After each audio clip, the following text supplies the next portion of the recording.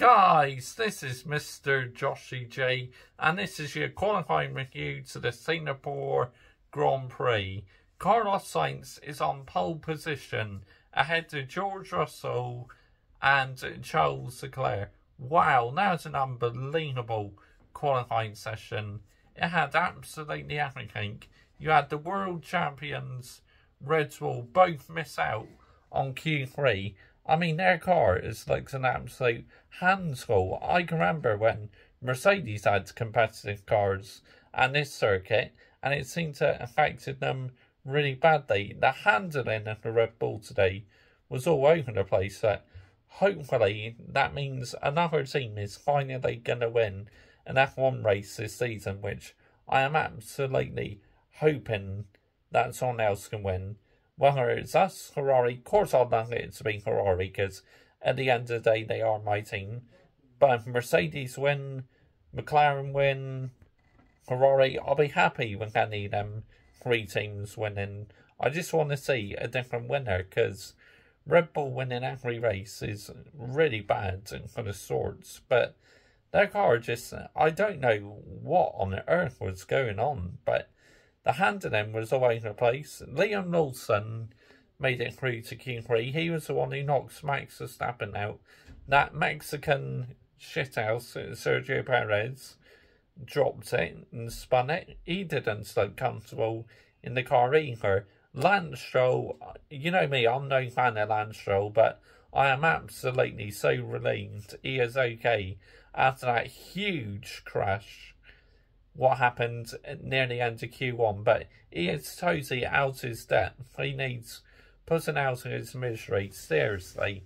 And obviously, Logan Sargeant needs putting out of his misery as well. Alex Albon, he got through to Q2, but that was the best he could do. The Williams just does not seem to suit this circuit for some reason. So, yeah, I believe that's the maximum Alex Albon could get out of the car. Haas, a big shout out to Haas. I mean, wow, both the Haases through to Q3. That is absolutely unbelievable. And Kevin Magnussen, my star, qualifying, you know, P6. We asked for a performance like Kevin Magnussen, who's in one of the worst shiners this season on the F1 grid, and he's delivered. Fair play. What an unbelievable performance by Kevin Magnussen today. Outqualifies Nico Hulkenberg, his teammate as well. That is absolutely unbelievable by the Danish driver. George Russell, he has my driver's number, Lewis Hamilton's, so far this weekend. I mean, Lewis has been nowhere near George Russell so far. Hamilton is P5, Fernando Alonso P7. I gotta say, that's disappointing for Aston Martin, but one driver I feel so sorry for is Yuki Tsunoda. I mean, Yuki Tsunoda, how unlucky was he? He got impeded by the Red Bull, but Max Verstappen only has a reprimand, no penalty, which I think is absolutely ridiculous. He is the most protect protected driver in F1. And also, so is the team as well. It's just, that is why I cannot stand Red Bull, man. Honestly, just, wow, unbelievable. But I cannot believe Max got away with that. He just got two reprimands points, which that is absolutely nothing. A penalty would have been more worthy because one for one got completely impeded. It's an absolute joke.